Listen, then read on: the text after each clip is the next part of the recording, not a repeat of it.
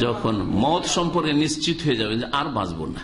সহজ ভাষায়, যখন রহমতের ফেরিস্তা অথবা আজাবের ফেরিস্তা যেটাই হোক না কেন, মালাকুল মত চলে এসছে, নিশ্চিত হয়ে গেছে, বুঝতে পারছেন, এখন আমি আখেরাতের জগৎ দেখতে পাচ্ছি।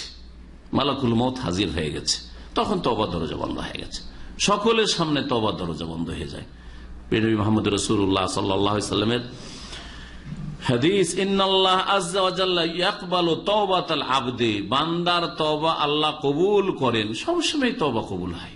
মালাম যোগার্গের যতক্ষণ পর্যন্ত আত্মা রুহ আপনার কণ্ঠনালী পর্যন্ত না এসেছে, যখন এখানে চলেছে আর বাঁচবো না। মালাকুল মত চলে এসছে এখন, আত্মাকে বের করবে এখন। তখন তবা দরজা বন্ধ হয়ে যায়।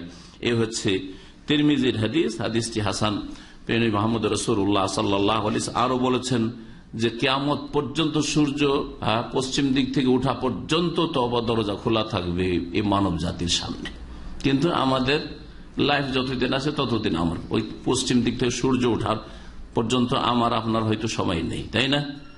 সুতরাং আপনার মতটাই হচ্ছে আপনার আখেরাত।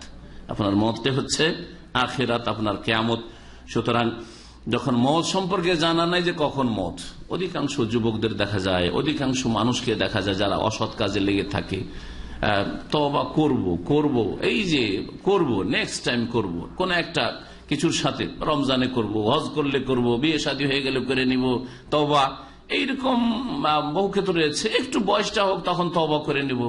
মনে হচ্ছে যে হাতে আছে আপনার সময় সময় আপনার হাতে আছে আপনার কোনো চিন্তা নেই তবা নিজে করে প্রস্তুতি নিয়ে তারপরে বলবো যে আমি এখন মারা যাব মনে হচ্ছে আপনার হাতে আপনার আয়ু আল্লাহ পাক যেন বোঝার তফিক দান করেন أشرقت نفسي بنور من فؤادي حينما رددت يا رب العباد وانتشت روحي وصار الدمع